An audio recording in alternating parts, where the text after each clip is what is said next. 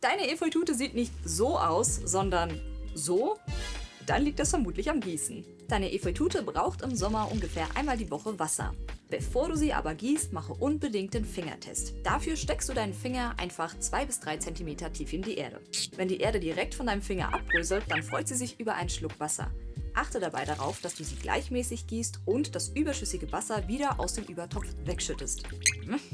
Wenn die Erde aber an deinem Finger kleben bleibt, dann wartest du lieber noch ein bisschen und wiederholst den Fingertest in ein paar Tagen nochmal.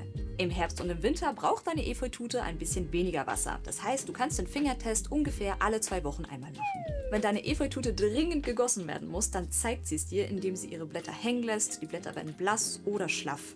Dann ist es höchste Eisenbahn, sie zu gießen. Wenn dir das Video gefallen hat, dann lass doch ein Like da und abonniere diesen Kanal.